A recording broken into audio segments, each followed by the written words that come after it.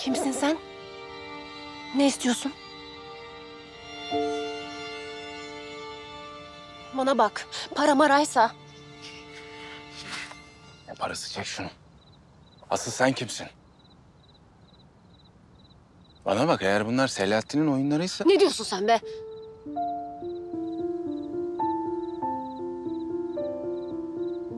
Ne işin var senin burada? Burada yaşıyorum ben. Tesiste çalışıyorum. Asıl senin burada ne işin var? Duydun. Selahattin'in geliniyim ben. Aman sen...